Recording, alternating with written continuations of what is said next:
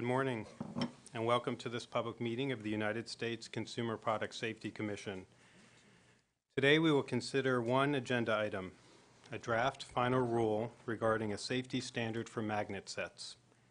We will start with five minutes for each commissioner to ask any questions of staff regarding this rulemaking package. Sitting before us today and available to answer questions are Dr. Jonathan Midgett, Children Hazards Team Leader in the Office of Hazard Identification and Reduction, and Mr. Andrew Camaros, Attorney in the Office of the General Counsel. I apologize last time, by the way, I referred to you as being in the Attorney General's office, which would have been accurate from a prior lifetime of yours. I do not have any questions for staff. Commissioner Adler? Uh, No questions, no opening statement. Thank you, sir. Commissioner Robinson? Thank you, Mr. Chair. I do not have any questions, but I just have a few comments that I would like to make. Um, Shortly after I be- I became a commissioner last year, I was introduced to the issues related to small, high-powered magnet sets. My initial reaction was that this was a very complicated issue. We knew that although these magnet sets were initially sold to children, by the time I arrived as a commissioner, they were being marketed as adult products or adult desk toys, marketed to adults with adults buying them, and they were not, we knew they were not hazardous to adults because adults follow the warnings and do not swallow them. I would quickly learn that the problem was, however, that however they were marketed, that these were these were items that were being swallowed by young children and by ingested by teenagers and were um, making uh, were were causing very very serious injuries and even deaths. These magnets are so powerful that when they get in the intestinal tract and when, there, when there's more than one, they will cause the intestines to clamp together and will cause bowel death. And most dangerous is that it's so insidious that the, the danger is something the parents don't know about. They don't know that the items have been swallowed. They don't know that when they when the first symptoms come, if the parents don't know what's been swallowed and they take it to the doctor, even the best of doctors will misdiagnose because the symptoms look just like flu or virus. And the longer those magnets are in there, the longer the blood supply is cut off to the bowel and intestines, the more serious the injury and the more likelihood of death. So I was really struck with how this hidden hazard was something that, as I say, however marketed, that this was something that needed to be addressed. And I've been really struck with um, the very, very active role that the medical community has taken in this rulemaking process. It was a pediatric gastroenterologist who first came to us in the spring of 2012 to sound the alarm because they were finding that their members of their organization were more and more talking about the injuries caused from these small magnet sets. In June of 2012, the, the NASPGHAN members uh, met with the CPSC staff to present their data. In January of 2013, we had the first recalls of the small high-powered magnets. And in October of 2013, shortly after I became a commissioner, five pediatric gastroenterologists from NASPGHAN NASPGHAN came to testify before the commission and were very clear to us that in spite of all of their efforts to get as much data as they could, both from their membership and by going behind our data here at the CPSC, that they were satisfied that what we knew of the injuries being caused by these small magnet sets was simply the tip of the iceberg with only 25% of their members responding to a to a survey, they found that there were 481 cases of magnet ingestion over a 10-year period and found most informatively that there was a spike, a drastic spike after these small magnet sets went on the market in 2009. Of the 123 clinical cases they reported, 102 occurred in 2011 and 2012 after these um, magnet sets went on the market. And when the NAPs began, went behind our NEISS data and also tried to um, make more sense of what we had um, by way of information, they not only found the spike in the incident data after 2009, but they also found, interestingly, that there was a spike in the 14 to 17 year age group, which previously did not have documented incidents of swallowing magnets. And we now know that, that this was in large part because teenagers or preteens were using these magnets to mimic piercings and then inhaling them. The public comments from the medical community have been extremely persuasive. We had approximately 150 in response to our NPR. The majority, I- it's hard to say the majority, uh, all but one of these comments from the medical community um, was, were strongly in support of us passing this rule, and the majority of these comments were submitted by individuals with personal experience in treating children who either narrowly avoided or actually sustained serious injuries from these medical sets, from, from these magnet sets. There were four, professional societies that submitted comments to us, representing a total of approximately 90,000 physicians in this country. We heard from NASPGHAN again, the pediatric gastroenterologist, the American Society for Gastrointestinal Endoscopy, the American Gastroenterological Association, and the American Academy of Pediatrics. And I was very impressed by the testimony that was given to us last October. The bottom line is that the Commission's job here today is complex. It's also critically important. And after reviewing all of the materials prepared by staff, analyzing the public comments submitted by stakeholders, listening to stakeholders who presented oral testimony, and participating in the briefing two weeks ago, I'm confident that I, as well as my fellow commissioners, have enough information to make an informed and mindful decision on this final rule for a safety standard for high-powered magnet sets. Thank you, Commissioner Robinson. Commissioner Mohorovic.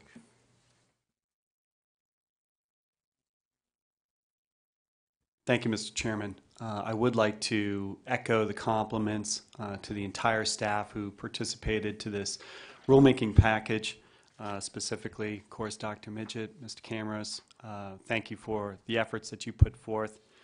Uh, Mr. Chairman, would this be an appropriate time for a statement, or would you prefer later? Uh, It's up to you, Commissioner. We're going to also have opportunities for closing statements, so it's your choice. I think at that point, thank you, Mr. Chairman. I think I'll wait for closing statements and leave my compliments as the only uh, initial point. Thank you. Thank you, Commissioner Mohorovic. We now turn to consideration of the draft final rule. Are there any amendments? Hearing none, we now move to final consideration. I move for approval of staff's draft final rule regarding a safety standard for magnet sets and publication of the same in the Federal Register. Is there a second? Second. Each commissioner now has five minutes to discuss the motion. Commissioner Adler? Uh, I have no comments to make about the motion. I do have a closing set of comments, but I will reserve them till after the vote. Commissioner Robinson? I have no further comments, Mr. Commissioner Mohorovic? Nothing on the motion. There being no discussion, I now call the vote. Commissioner Adler, how do you vote? Aye. Commissioner Robinson? Aye. Commissioner Mohorovic? Aye. And I vote aye. The ayes are four and the nays are zero. The ayes have it. The motion to approve staff's draft final rule regarding a safety standard for magnet sets and to publish the same in the Federal Register passes. The safety standard has been approved and shall take effect 180 days after being published in the Federal Register. We'll now move to closing statements. I struggled with what to say today, and I think as Commissioner Robinson so perfectly said, this is a very complex issue. And so I chose not to go the simple route and to try to recognize the complexities that are involved here. During the time that I've been at the CPSC, the Commission has taken a number of important and uplifting consumer product safety actions. One example that comes to mind is when the Commission approved a few years ago the publicly searchable consumer product database. For the first time, consumers were given direct access to and a voice on reports of harm related to consumer products that had previously been hidden from public view. Today's action is no less important from a safety perspective, but for me at least, it feels much more solemn. Before explaining why, I feel it is important to note that I've not seen a better example of the Commission, in particular CPSC staff, responding and proceeding in a manner true to our mission and purpose. The action that culminated in today's vote began with incident reports. First a few, then more, and finally enough to become a very alarming and disturbing trend. In an effort to reverse the trend and address the hazards, our staff worked through a progression of our authorities.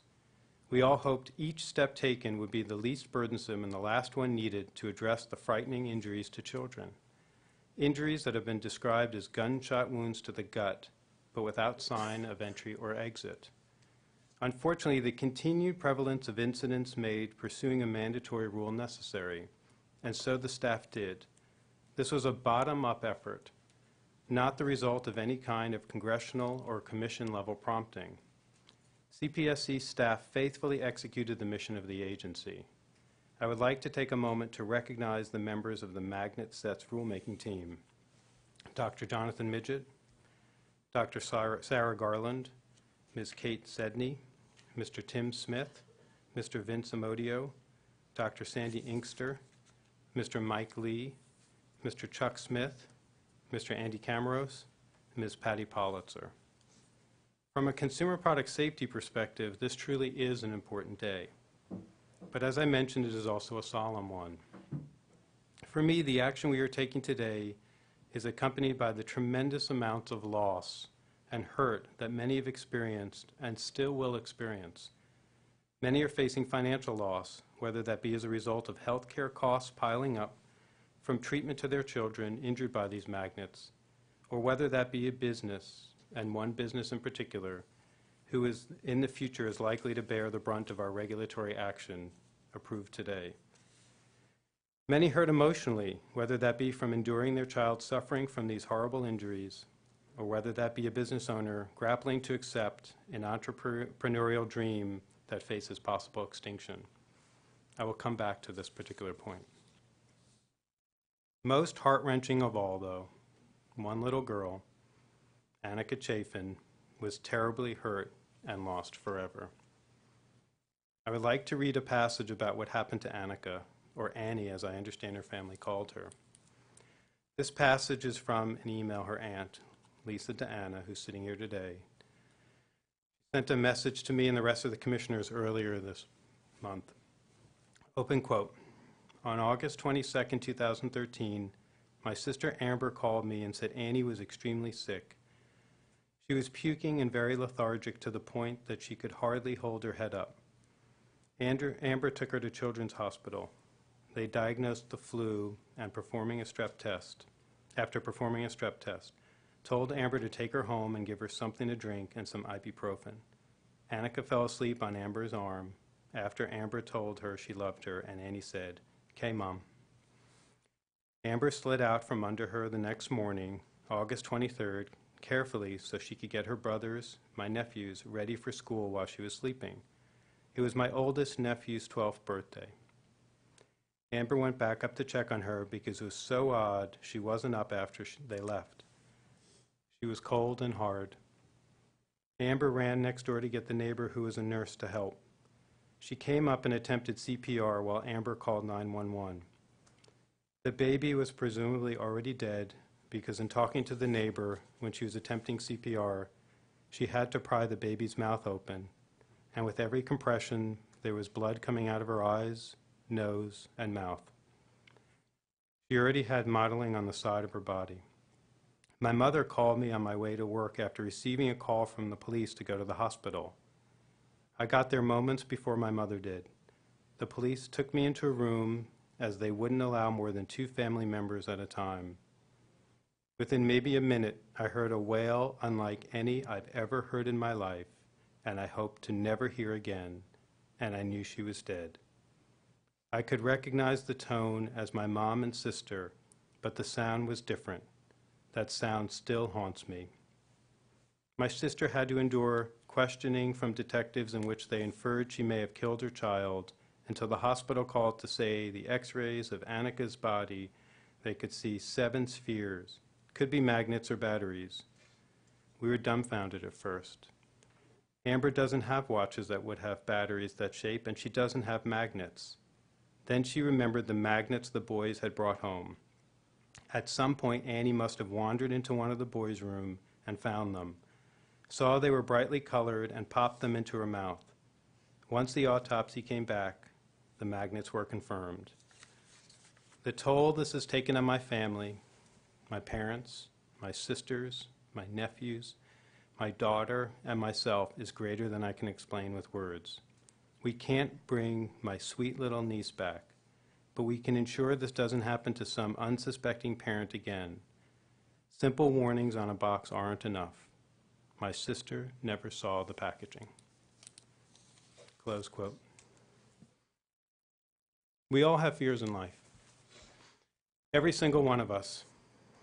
For me, the biggest, without any question, is something tragic, tragic happening to one of my boys. Every night, every night, long after we have put them to bed, I sneak back into their rooms to kiss them one more time. As I do that, I feel tremendous gratitude that they are alive and well, and that I am so blessed to have the privilege of hearing in the dark of their rooms the soothing and rhythmic sound of their breathing. I hug them tight, trying not to wake them, all the while knowing that, as long as I might hang on that particular evening, that moment is so rather fleeting. And I also know each night that there is certainly no guarantee I will have even one more night to hold on to them tight. So as a parent, I hurt so much for Annika's family. To Miss Chafin, your mom, your sister, your sons Brody and Sebastian, and niece Chloe, I am deeply moved you took the time to drive here from Ohio today. I will always think of Annie when it comes to this rule and the actions the commission has approved this morning, and I'm so deeply sorry for your loss. I recognize as I say this, though, that this is one of those moments in life where the striking limit of words to provide any sense of deep and enduring comfort is so perfectly and painfully proven. Also in our thoughts is little Braylon Jordan from Louisiana, who had to battle through numerous surgeries as a two-year-old after his intestines were perforated. Braylon is not alone, as many children and teenagers have suffered serious injuries after ingesting these hazardous magnets, as many families and the medical community well know. To the medical community, specifically the gastroenterolo- gastroenterologist led by Dr. Athos Bousvaros, the president of the North American Society for Pediatric Gastroenterology, Hepatology, and Nutrition, we thank you for your contributions to this effort, including your first-person accounts of rushing children into surgery. There is, of course, another extremely important aspect to our action today, and I alluded to it earlier. I feel the weight of, and am genuinely sorry for, the likely loss of one man's dreams. To doubt the power and captivation of dreams is to lose a vital part of our humanity. I received an email two days ago from this individual, Mr. Shihan Qu, who is the creator and manufacturer of Zen magnets. Mr. Qu, thank you for sending your email regarding the rulemaking that we voted on today. Here is one passage in particular that I found especially meaningful and moving. Quote, It was in a moment of awe and lucidity that I decided to start Zen magnets. These magnet spheres are a window to a universe of curiosity and inspiration, utterly unlike any other product before it. To me, an adventure into geometry, photography, physical forces, and most importantly, my own mind. As an adult, they still bring me the childhood wonder that I once had for much of the world around me. These magnets function exactly like they should. That they require more care and use than many other products doesn't mean magnets should be feared, but that they should be respected. Close quote. We do not agree on how to address the hazards presented by these magnets, but please know I do respect your dream to innovate and to create. Some of you who have worked with me might have heard me say from time to time the importance of dreaming big and then even bigger. Mr. Qu, this is what I would like to leave you with. I hope your dreaming will continue and that inspiration will strike again, and that there is a path forward that secures for you that elusive childhood wonder, but in a way that can endure. Some loss, tragically, is permanent and life-changing. We bear witness to that today with the presence of Annika Chafin's family. But not all loss and hurt need be. At least that is my hope for this process, that the rule approved today will prevent future loss and hurt by protecting and preserving not only the precious health of children, but will also provide sufficient space for the entrepreneurial dreams of adults. Commissioner Adler? Thank you, Mr. Chairman. Um, Thank you for that very moving statement. Uh, Mine is much, uh, much shorter. As Staff has pointed out, we're faced with a product that's extremely appealing to children. And in fact, at one time, I remind the world, it was marketed as a toy for children. But as horrific injuries resulting from the attraction of magnets to one another in children's digestive systems began to accumulate, the Commission worked with firms that sold these high-powered magnets to limit their marketing and sales practices exclusively to adults. I think it's fair to say that both the Commission and the industry approached this initiative in good faith, with the best of intentions, with the hope somehow that children's exposure to high-powered magnets could be limited sufficiently to protect these innocent and involuntary risk takers. Sadly, despite everyone's best efforts, the injuries have continued unabated. Several reasons probably explain this. First, it's impossible to put warnings on the magnets themselves. So many adults have never fully appreciated the extremely hazardous nature of high-powered magnets, and as we heard, sometimes adults never read or have access to the warnings on the boxes. Moreover, once in a home where young children can observe them, magnets have proven extremely and particularly appealing to kids. And I want to read an excerpt from the staff briefing package that captures this thought. These types of magnets tend to capture attention because they're shiny and reflect light. They're smooth, which gives the magnets tactile appeal. And these magnets make soft snapping sounds as they're manipulated. These properties or characteristics of magnets are likely to seem magical to younger children, and therein lies the problem.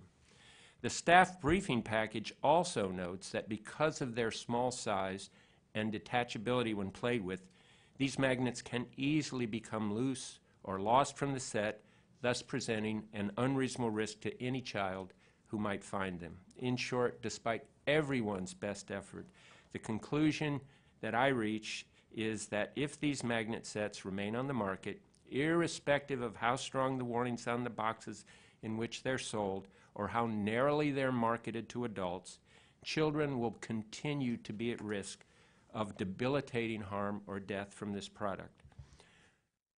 I realize there are some members of the public who would wash their hands at this point. That is, uh, and I've gotten thousands of emails to this effect. They're willing to stand by and permit these injuries to continue in the name of preserving consumer freedom, all the while pointing the finger at blame at what they call irresponsible caretakers. In good conscience, I cannot do this. First, in most cases, I see little, if any, carelessness. Instead, I see reasonable people acting in perfectly predictable and human ways that sometimes lead to ghastly tragedies. Moreover, even in those instances in which a caregiver may have erred, let's remember that it's the child who suffers, and it's our job to protect the child. And let us further remember that Congress went out of its way when it wrote the Consumer Product Safety Act to provide us with the statutory authority to act even in cases of misuse. So I have reluctantly concluded that this is a product that in its present form requires a safety standard to protect the public. And I want to mention one final point. I want to return to the issue of the appropriateness of the commission voting on a safety standard for magnets while simultaneously seeking the recall of this product from the market. As I mentioned during the staff briefing on magnets, there is nothing improper about this at all. A safety standard seeks to protect consumers in the future, while a recall action seeks to remove a dangerous product from the market today. Normally, when we write a safety standard, we permit the sale of dis- and distribution of products in inventory. But in instances where a product presents a particularly serious hazard, we seek the protection of a recall to safeguard the public. Without passing judgment on whether magnets present such a hazard, because I have not seen the case before me, I note that if they do, the Commission is acting in a commendable and appropriate manner, one contemplated by Congress and blessed by the courts.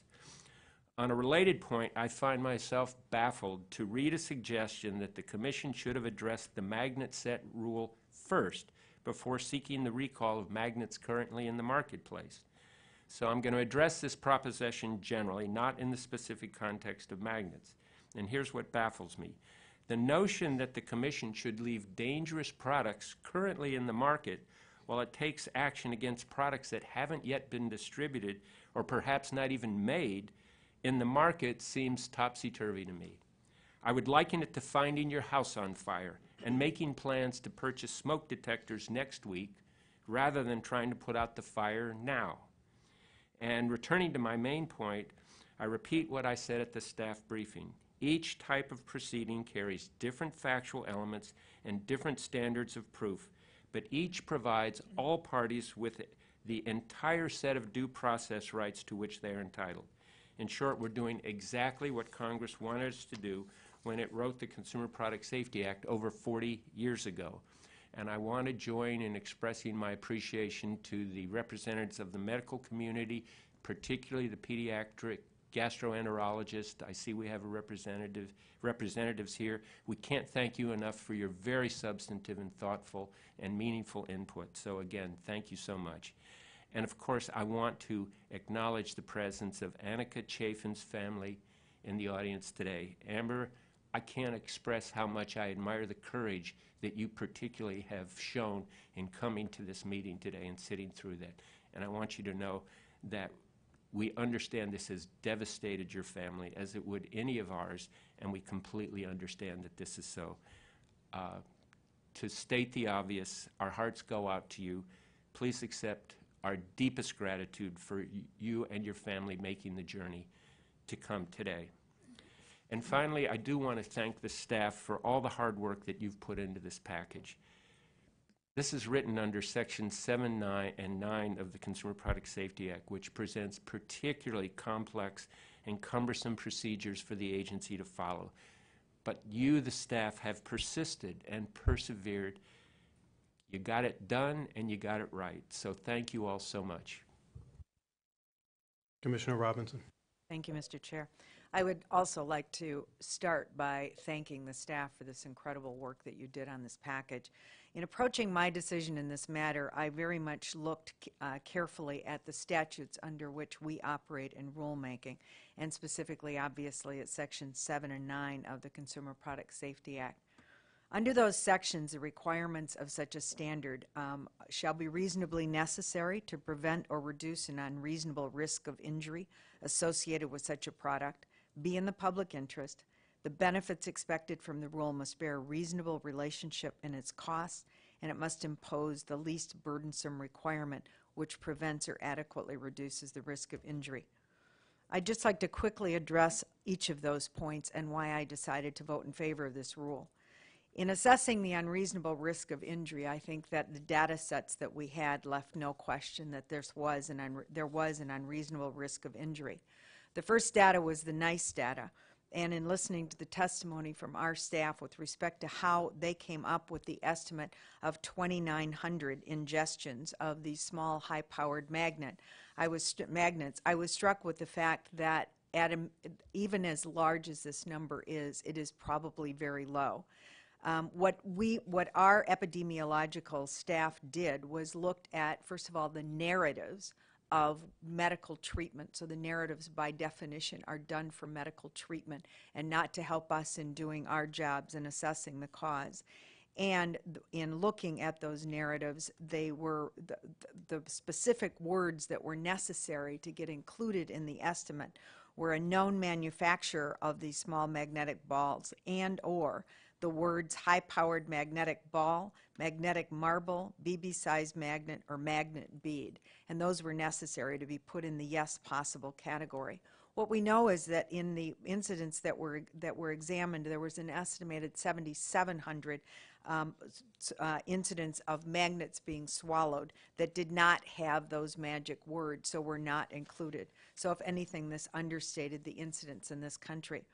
The second area we looked at at the non-statistical data that we have, and we know that between January 1 of 2009 and June 24th of 2014, we know specifically that there were 100 incidents that involved the magnet sets at issue in this rulemaking. And now we know of the tragic death of Annie Chafin.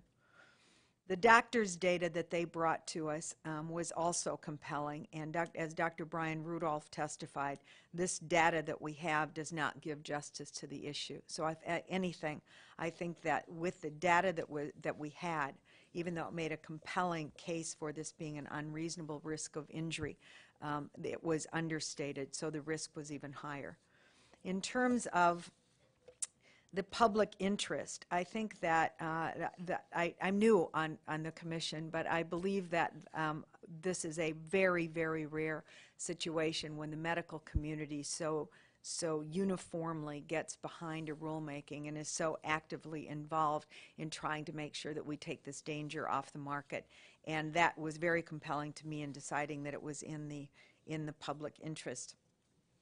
The cost-benefit analysis, again, um, uh, even though we ended up with an estimate of 28 million um, annually in costs for these injuries versus 6 million in lost producer surplus, obviously that in and of itself um, weighs in favor of passing this rule. But again, when we look at the the the algorithm that our staff used um, in, in order to come up with the estimate of costs, again, I think that this was, this was, if anything, an, an understatement, because what our staff used in the algorithm was the swallowing of any foreign objects.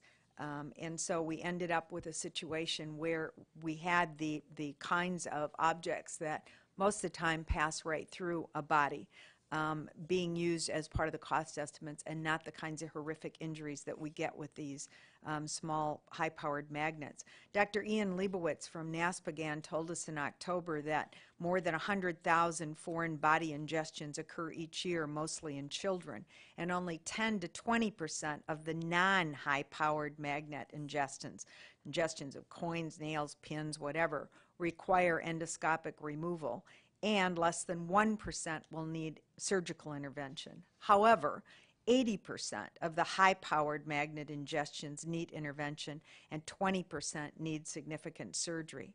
Dr. Marsha Kay, also from NASPGHAN, explained in detail the kind of horrific life-altering injuries that are suffered when um, bowel significant bowel has to be removed, not only in terms of the lifestyle of the child and the parents having to make sure the child um, gets appropriate nutrition, but in terms of the of the enormous medical costs that will be incurred as a result of the injuries and its and their aftermath.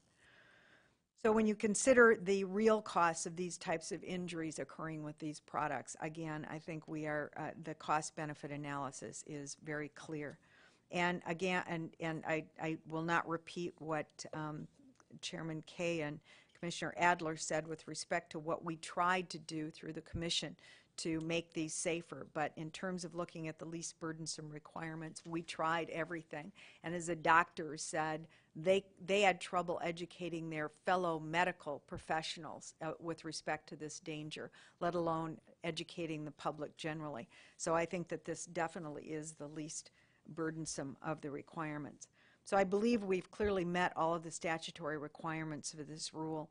And I would like to, in addition to um, having already thanked the staff, I really, again, want to um, thank the medical community for how actively they have been involved in this rulemaking and helping us do our jobs, and particularly with respect to the pediatric gastroenterologists.